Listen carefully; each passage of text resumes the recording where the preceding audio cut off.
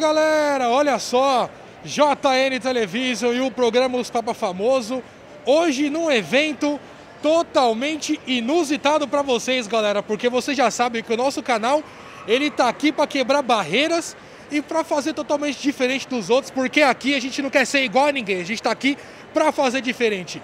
E já que é para fazer coisas diferentes, estamos onde, galera? Estamos aqui na Expo Íntima, aqui em São Paulo, e agora nós temos a honra de receber essa mulher incrível que já está parando a feira, onde já está passando todo mundo, já está parando para olhar, para tirar foto com ela, que é a Madame Dubá. Seja bem-vinda ao nosso canal. Obrigada, obrigada pela por visitar aqui, né, a gente. Com toda certeza, é um ramo que confesso que eu já tenho uma certa intimidade um pouco, porque eu já trabalhei um tempo com algumas atrizes pornô, também já frequentei bastante é, é, o, os bares de dominação, né?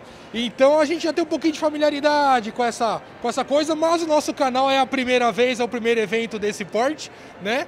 E você está sendo a nossa primeira entrevistada aqui na feira. Ok, então primeiro eu já vou te dar a porrada. Eita, que, Tá. eu, já vou, eita que eu já vou chegar apanhando, porque é, É. assim, galera, é apanhar. Exatamente, porque assim, como você vê, você fala, eu já sei desse meio, eu conheço o meio do pornô. Eu não sou atriz pornô, eu sou terapeuta. E tem muita gente aí que gosta de BDSM e que não tem nada a ver com a putaria, entendeu? Então isso já é um preconceito que eu estou tirando de você. Olha isso, tá vendo? Tomei, tomei, toma, Agora, trouxa, bem feito. outra, eu acho que você tem que ficar aqui nesse cavalete que você vai tomar outra. Como assim, Brasil? Pera aí, como assim? É Ô, assim, produção, ó. isso não tava Você combinado não, produção. colocar Ah, o seu joelhinho aqui, Ah. o outro ali e fazer que nem um cavalo, assim, vai. Como é que é a história aqui, Brasil? Enquanto isso, ele vai segurar o microfone. Como é que é a história aqui, Brasil? Joelhinho, joelhinho. Eita, nós, vamos Vira lá, né? Virar pra cá? Aqui, põe esse Eita, nós, aqui. vamos lá então, bora. Isso, aqui. Vamos montar no cavalo aqui. Muito bem. Isso. Agora Deu você, ruim? agora você põe o seu cotovelo aqui. Rapaz, deu ruim. Fudeu. Põe o cotovelinho aqui, põe. Isso, isso. Cofrinho, é muito feio deixar cofrinho assim. É muito feio o cofrinho. Vai, desce. Ninguém deixou subir. Desce. Muito bem, isso. Porque vem aqui querer falar, aí acaba apanhando, né? E olha que gostoso. Aí é assim, ó, como que funciona? Eu bato, você fala, obrigado, senhora, vai. Isso. Mais alto. Isso. Muito bem. Tá, um dia você aprende. Sensacional. Galera, é assim mesmo, entendeu? É assim mesmo. Ó, isso daqui, eu vou ser bem sincero, uma coisa pra você. Foi tudo estratégico, porque é verdade, é verdade, porque como a gente já trabalha há bastante tempo nessa área, a gente sabe exatamente da questão do preconceito que tem. Porque muita gente, por exemplo, que nós temos aqui em São Paulo, Dominatrix, né? Conheço, que Dominatrix. a galera também acha que lá é só putaria, lá é só isso aquilo. E não é.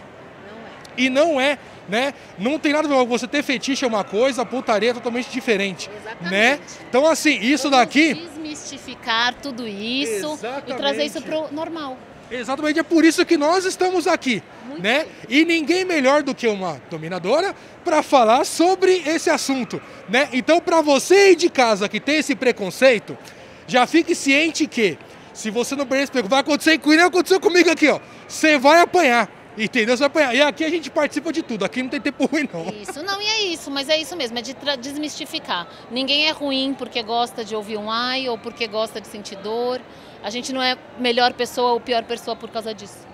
Exatamente, exatamente. E como que, que você, como foi pra você esse seu começo, né? Que a gente sabe que deve deve ter sofrido muito preconceito por conta dessa prática, né? Sim, a gente sofre preconceito até hoje, mas tá tudo bem, é, é só explicar. Eu acho que as pessoas hoje elas estão mais abertas a entender. Há 20 anos atrás era muito mais difícil. Entendo, entendo. E fala um pouquinho sobre o seu escravo aqui, né?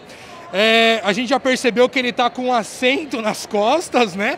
Quando nós chegamos aqui para entrevistá-la, ela estava sentada no sofá com os pés em cima dele, né? Conta pra gente como foi que você começou a, a praticar. Putz, eu gostava da roupa, eu gostava do vestuário total. Inclusive eu não estou vestindo nenhuma, nenhuma roupa BDSM, nada de vinil, nada assim, porque eu queria mostrar mesmo que é normal, né? Mas eu comecei pela moda. É o que eu mais gostava, assim, que eu queria ver a moda. Entendi. E como surgiu o seu primeiro escravo? É, na internet, com certeza. É, é, eu tenho mais de 20 anos de experiência, de prática, e no, antes ninguém falava assim que gostava abertamente. Sempre foi muito escondidinho. Né? Até hoje, na verdade, continua, né? Eu também converso com algumas pessoas e às vezes, dependendo da intimidade que a gente tem com a pessoa, a pessoa acaba abrindo um pouco mais essa questão, quando a gente começa a tocar no assunto um pouco mais pesado, né? A galera acaba falando que gosta, porém a vergonha, essa questão do preconceito, o que, que a minha família vai falar, o que, que minha namorada vai pensar, o que, que meu namorado vai achar se eu pegar e falar uma coisa dessa. Uhum. E hoje em dia isso já está mais do que fora de moda, né? É, não é que tá fora de moda, mas assim, existe mais exposição, né? Existe Anitta vestindo vinil, existe artistas vestindo roupas, existe coisa. Existe mais coisa ali para as pessoas verem e terem um pouco menos de preconceito, mas o preconceito ainda existe. Infelizmente, né? E um evento desse aqui tá aqui para poder quebrar esse tipo de barreira também, para a galera ver que você tem um fetiche, você querer se tornar um escravo, uma dominadora, não tem nada demais como nada você falou. É uma coisa normal. Até porque também você não vive só disso, você também tem outros atributos, né? Não, eu sou terapeuta, eu não, eu não vivo disso. Herol, não é nem só disso, eu não vivo disso. Ainda bem. Vocês viram só, galera? Terapeuta também tem, tem gostos, como todos nós temos, né? E o seu escravo, ele sofre bastante? Ele gosta. Ele gosta. É, tá tudo ele, ele, ele, ele, ele tá aqui para isso, para te servir, né? É, ele fica feliz fazendo isso. Que maravilha, linda, que maravilha. Eu fico muito feliz por essa entrevista com você, viu? Deixar aqui para você as portas do nosso canal sempre abertas. Parabéns pela prática, parabéns também por você estar tá aqui também mostrando um pouco mais desse seu lado também dominadora, né? Mostrando para a galera de casa que tipo não precisa ter preconceito, que literalmente falando no mundo, tá, tem que ter a mentalidade muito mais aberta, Sim. porque quando você está falando do prazer, literalmente falando é o prazer, então você tem que fazer aquilo que te dá prazer, é, né? É, e não tá só ali, né? Não é fálico, não é só ali só na genital, até tudo, né, um, uma outra coisa, um, uma dominação psicológica, muitas coisas trazem prazer pra gente e a gente acaba não explorando por falta de conhecimento, informação e coragem até. Então, para você aí de casa, fica essa dica aqui da Madame Dubá, né? Segue ela nas redes sociais aí. Qual que é o seu Instagram? Madame.dubá. Segue ela aí, acompanha todo o trabalho dela. Qualquer dúvida também pode te chamar para conversar. Pode, pode marcar sessões com você também, né? Pode, a gente faz livramento. Eu te desapaixono em cinco minutos. Eita! Então você que está aí sofrendo por amor. Procura aqui a Madame do Bar que você não vai sofrer mais, viu? Não vai sofrer mais e vai pegar gosto por outras práticas, né? Talvez, aí não tem nada a ver uma coisa com a outra, tá vendo? Você mistura tudo. Quer apanhar. Quer apanhar. Quer apanhar, eu tenho certeza. Não, eu, vou, eu vou falar uma coisa pra vou falar mais, hein? Foi a primeira pessoa que me bateu. Foi a primeira que fez isso. Mentira que eu bati na frente da câmera. Não, você foi a primeira. Porque ele bem gostou, ele não gostou. Agora, agora, agora, agora já era um caminho sem volta. Ixi, Maria, agora eu viciei, agora deu ruim. Não é um caminho sem volta, viu? É, ele falou que é um caminho sem volta, gente. Deu ruim. Eu acho que deu ruim pro meu lado, viu? Caminho sem volta. Deu ruim, deu ruim. É, eu acho que no próximo, na próxima feira, acho que pode ser eu no lugar dele ali, viu? Viu? Tá marcado. Tá marcado. Madame, muito obrigado por essa entrevista incrível. Parabéns pelo seu trabalho, e viu? O que precisar. mais tarde aqui, porque vai ter ação, tá? Então volte mais tarde.